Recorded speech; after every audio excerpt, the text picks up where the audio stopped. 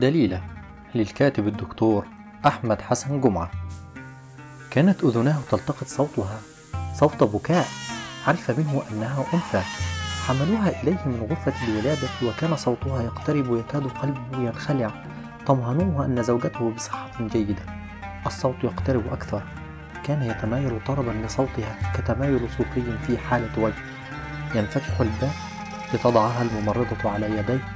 يسري الإدرينالين في جسده وترتعش يده يترك عصاه دليله في الطريق يتحسس وجهها تلتقط أصابع ملامحها نفس ملامح أمها نفس الضعف الحواجب ملمس الشعر. يتحسس فمها فتلقم إصبعه لترضعه. يرتعش كأنه درويش تدمع عيناه. يرفع نظارته السوداء ليجفف دمعه. يمسك يدها فتلف أصابعها حول إصبعه. كان ساعتها منتشيا مخدرا. عبر الطريق إلى المسجد بدون دليل. بعد أن تعلمت المشي والكلام وضع عصاه في المسجد لكي يستند عليها. ومن يحتاجها تلك العصا وهو يمتلك دليله؟ التفت أصابعه حول إصبعه. تقوده إلى المسجد كل صلاة.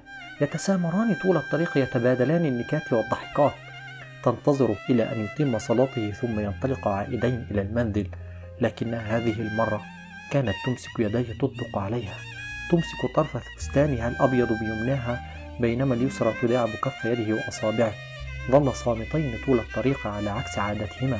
حتى وصل إلى المسجد دخلت معه هذه المرة.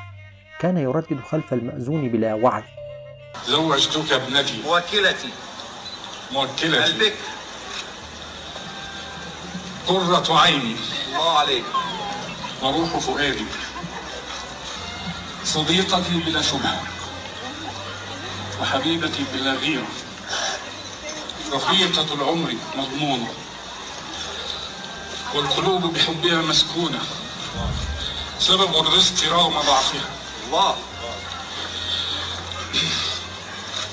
أم أبيها رغم صغارها سبيلي إلى الجنة بإذن ربها. شمس أيامي وقمر لياليها. انطلقت الزغاريد من خارج المسجد عانقها وتحسس وجهها مسح بأصابع دموعها ثم رفع نظارته ليمسح دموعه.